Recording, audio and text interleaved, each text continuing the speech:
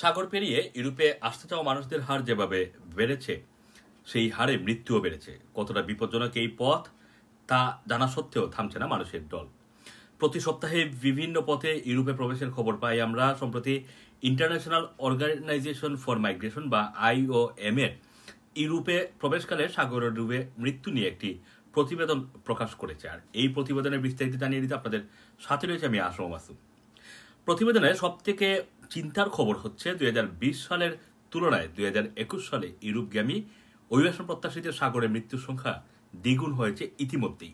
প্রতিবেদনটি জানাচ্ছে যে মৃত্যুর হার এতটা বাড়লেও সাগরপথে ইউরোপে পাড়ি দিতে চাওয়া মানুষের সংখ্যা সমানুপাতে বাড়েনি। এই সংখ্যা বেড়েছে ছাপ্পান্ন শতাংশ।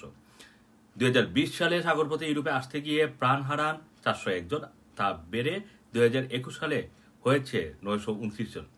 সবচেয়ে বেশি বিপজ্জনক মধ্য, ভূমধ্য সাগরের পথটি, যেটি রয়েছে লিবিয়া এবং ইতালির মাঝামাঝি। এই পথে প্রাণ হারিয়েছেন সাতশো একচল্লিশ জন অভিবাসন প্রত্যাশী। আইওম জানাচ্ছে, মৃতের প্রকৃত সংখ্যা হয়তো এর চেয়েও আরও বেশি হতে পারে, কারণ বহু জাহাজ ডুবি বা নৌকা ডুবির খবর কর্তৃপক্ষ পায় না, তাই নথিভুক্ত হয় না।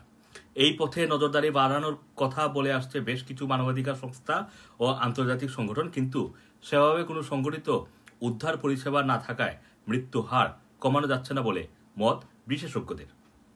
ইউরোপীয় রাষ্ট্রগুলি সাধারণত উত্তর আফ্রিকার দেশগুলির নিজস্ব উদ্ধার পরিষেবার উপরে বেশি নির্ভরশীল। দুই হাজার একুশ সালের প্রথমার্ধে নিজেদের উদ্ধার অভিযানের সংখ্যা আগের তুলনায় নব্বই শতাংশ বাড়িয়েছে তিউনিশিয়া কর্তৃপক্ষ।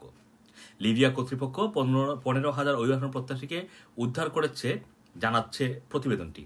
অভিবাসন বিষয়ক গবেষক মাথেও ভিলা জানান যে এবছর মোট নয়টি বেসরকারি সংস্থা চালিত জাহাজ আটক করেছে ইতালি। ইতালি, স্পেন, মাল্টা ও গ্রিসের মতো ভূমধ্য সাগরের তীরবর্তী রাষ্ট্রগুলি অভিবাসনের ঢল ঠেকাতে প্রায়ই অন্যান্য রাষ্ট্র বা সংগঠনের কাছে সাহায্য চেয়ে থাকে। কিন্তু সাগরে এইসব রাষ্ট্রের কর্তৃপক্ষের ভূমিকার বিষয়ে উঠছে নানা ধরনের অভিযোগ। সম্প্রতি ইউরোপীয় ইউনিয়নের প্রশিক্ষিত লিবিয়ান জল সীমান্তরক্ষীদের একটি ভিডিও প্রকাশ পায়, যেখানে অভিবাসন প্রত্যাশীদের একটি নৌকা থেকে গুলি চালাতে দেখা গেছে।